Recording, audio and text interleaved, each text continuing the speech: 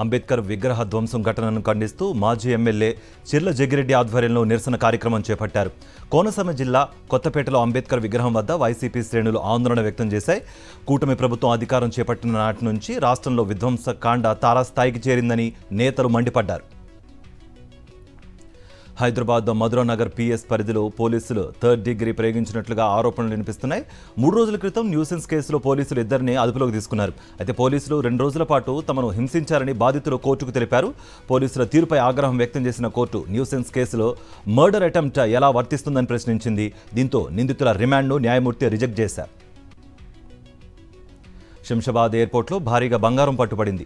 కోటి రూపాయల విలువైన ఒక వెయ్యి మూడు వందల తొంభై గ్రాముల బంగారాన్ని డిఆర్ఐ అధికారులు స్వాధీనం చేసుకున్నారు.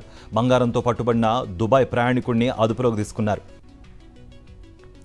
భద్రాద్రి కొత్తగూడెం జిల్లాలో Sitarama lift irrigation project second pump house trial run మంత్రులు ప్రారంభించారు.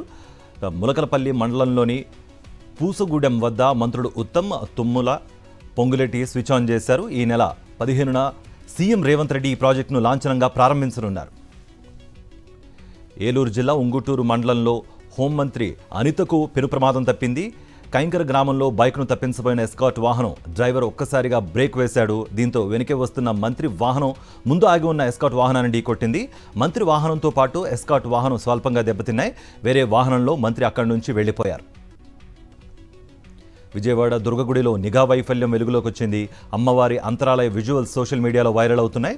రెండు రోజుల క్రితం అంతరాలయాన్ని ఓ భక్తురాలు వీడియో తీసినట్లుగా సమాచారం. దీనిపై ఆలయ అధికారులు పోలీసులకు ఫిర్యాదు చేశారు. సీసీటీవీ ఫుటేజ్ ఆధారంగా విచారణ చేపట్టారు. శ్రీ సత్యసాయి జిల్లా మేకలపల్లిలో హై స్కూల్ కమిటీ ఎన్నికల్లో టీడీపీ నేతలు బదిరి బరితెగింపులకు పాల్పడ్డారు. తమ వర్గానికి హెచ్ఎం అనుకూలంగా పనిచేయలేదని మండల కన్వీనర్ సిద్ధలింగప్ప హెడ్ మాస్టర్తో దుర్భాషలాడిన ఆడియో ఆలస్యంగా వెలుగులోకి వచ్చింది పేరెంట్స్ కమిటీ ఎన్నికల్లో తాము చెప్పినట్లు చేయాలంటూ వార్నింగ్ ఇచ్చారు. కర్ణాటక తుంగభద్ర డ్యాంకు వరద పోటెత్తింది. వరద ఉధృతికి డ్యాం పంతొమ్మిదో గేటు కొట్టుకుపోయింది. గేట్ చైన్ లింక్ తెగిపోయినట్లుగా గుర్తించారు అధికారులు. దీంతో డ్యాం అన్ని గేట్లు ఎత్తి దిగువకు లక్ష క్యూసెక్ల నీరును విడుదల చేస్తున్నారు. తుంగభద్ర డ్యాంను కర్ణాటక మంత్రి శివరాజ్ సింగ్ చౌహాన్ పరిశీలించారు. డ్యాం పరిస్థితిపై అధికారులతో సమీక్షించారు. తూర్పుగోదావరి జిల్లా ధవళేశ్వరంలో కిడ్నాప్ అయిన ఇద్దరు బాలికల కోసం పోలీసులు ముమ్మరంగా గాలింపు చర్యలు చేపట్టారు.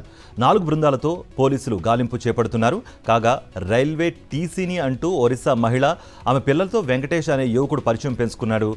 మహిళలను హాస్టల్లో చేర్పిస్తానంటూ వెళ్ళిన వెంకటేష్ ఫోన్ను స్విచ్ ఆఫ్ చేశాడు. దీంతో బాధితురాలు పోలీసులకు ఫిర్యాదు చేసింది వరుస సెలవులు శ్రావణ మాసం కావడంతో శ్రీశైలంలో మల్లన్న ఆలయానికి భక్తులు పోటెత్తారు.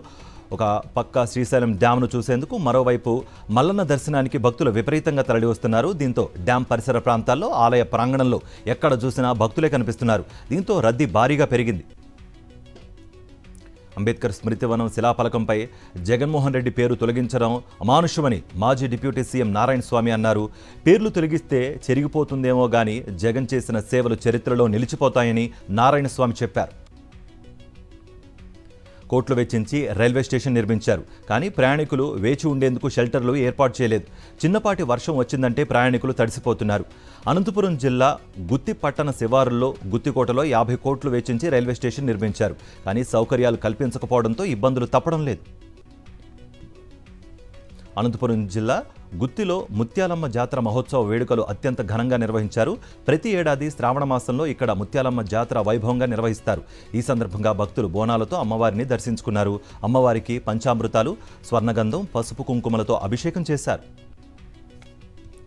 భద్రాద్రి కొత్తగూడెం జిల్లా బూర్గంపాడు మండలంలో రోటరీ క్లబ్ ఉచిత మెగా హెల్త్ క్యాంపును ఏర్పాటు చేసింది. సారాపాక రైతు వేదికలో ఏర్పాటు చేసిన ఈ శిబిరాన్ని పినపాక ఎమ్మెల్యే పాయం వెంకటేశ్వర్లు ప్రారంభించారు. హెల్త్ క్యాంపును ప్రజలు సద్వినియోగం చేసుకోవాలని కోరారు. అనంతరం సీఎం రిలీఫ్ ఫండ్ చెక్కులు పంపిణీ చేశారు.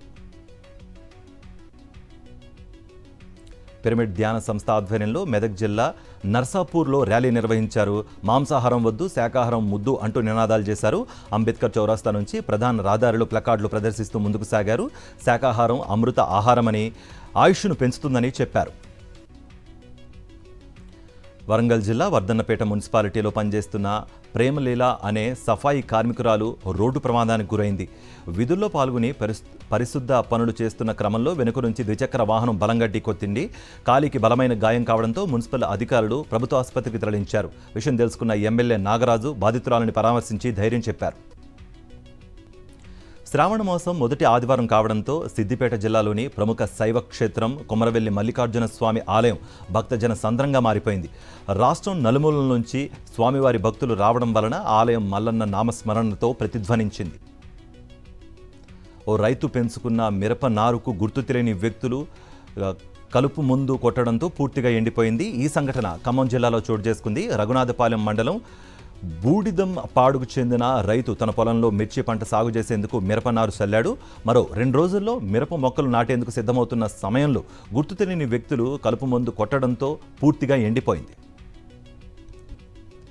ప్రకాశం జిల్లా మార్కాపురంలోని తర్లపాడు రోడ్లో ఉన్న ఓ పాడుబడ్డ మిల్లులో గుప్త నిధుల కోసం గుంతలు తవ్వారు. నిధుల కోసం వెతుకుతున్న ఓ ముఠాను మార్కాపురం పట్టణ రూరల్ పోలీసులు తమకు అందిన సమాచారం మేరకు శనివారం అదుపులోకి తీసుకున్నారు. ఛత్తీస్గఢ్ రాష్ట్రంలోని సూక్మా జిల్లా గదిరాస గ్రామ సమీపంలో మహిళా మావోయిస్టును పోలీసులు అరెస్ట్ చేశారు. ఐదు లక్షల రివార్డ్ కలిగిన మహిళా మావోయిస్టును అరెస్ట్ చేసి ఆమె వద్ద నుంచి పేలుడు పదార్థాలు స్వాధీనం చేసుకున్నారు.